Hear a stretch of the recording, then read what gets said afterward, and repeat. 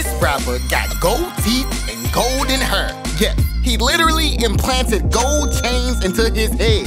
This is Dan Sur, and he has his wealth implanted all over his body. Yo tengo tres Bugattis en la cabeza. Así como me estás escuchando, tengo tres Bugattis en la cabeza. Yo no los manejo, yo los tengo en puro oro en la cabeza. Tres Bugattis. Three Bugattis in his head? Man, that must be heavy. But at least he'll save on his haircuts, I guess. Our next rapper's implants is just as insane. Take a close look here. If he loses a tooth, the tooth fairy will be in for a treat. This is Lil Wayne. He keeps $150,000 in his mouth.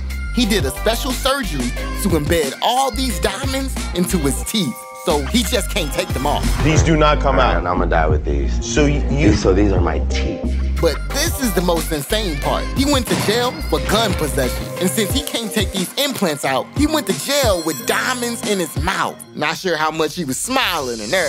And if you think having diamonds on your teeth is crazy, this rapper takes $24 million with him everywhere he goes. He has a massive pink diamond, but instead of putting it in a necklace or a ring, he decided to put it somewhere else. You gonna put a diamond in? What you gonna do? Put it in your cheekbone? We gonna put it in your chin? What you gonna do? Put a big diamond put it in your forehead? Who you think he is? Who, you think he is? Avatar? What you gonna do? Glow up? Mm. Yes, a $24 million diamond implanted on his forehead. But little did he know, this would be the biggest mistake of his life because he did the last thing you should do when you have a huge diamond in your head. He jumped into the crowd at his concert. You're not gonna believe what happened next because as soon as he reached the crowd, someone tried to rip his diamond from off his forehead. Because of that, he started bleeding so much that he had to go to the hospital.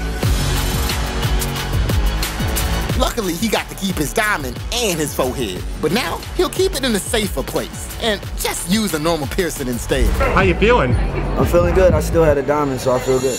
And after seeing these guys, I can only tell you one thing. These rappers sure do have some crazy ways of spending all their millions.